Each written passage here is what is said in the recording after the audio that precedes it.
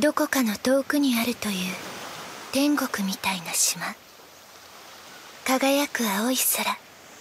澄み渡る青い海。ヤシの木も優しく揺れる場所。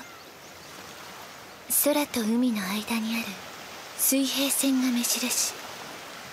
私はずっと君のこと待ってる。